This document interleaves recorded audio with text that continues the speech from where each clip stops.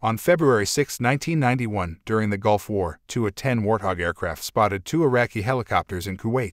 The American pilot tried to engage the helicopters with an AIM-9 missile, but it malfunctioned due to the desert's high temperatures. The pilot then fired a total of 275 rounds from his GAU-8 cannon without success. Finally, after firing another 100 rounds, the pilot managed to hit one of the Iraqi helicopters, causing a detonation.